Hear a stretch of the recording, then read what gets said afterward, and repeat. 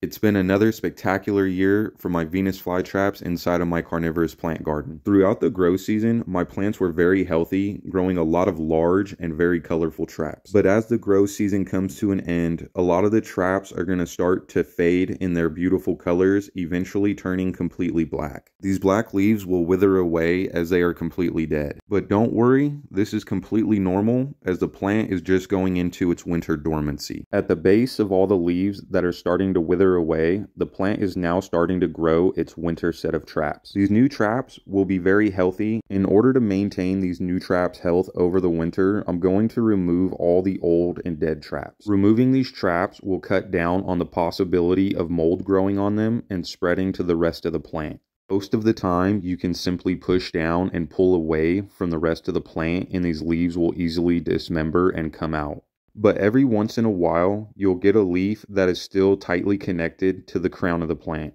In order to avoid pulling up the whole plant's rhizome, it's best to use scissors to carefully cut this old leaf from the base. And after just a couple quick minutes of a cleanup, you can see that we had a beautiful Venus flytrap specimen under all that old growth just waiting to emerge. The plant will now sleep until springtime.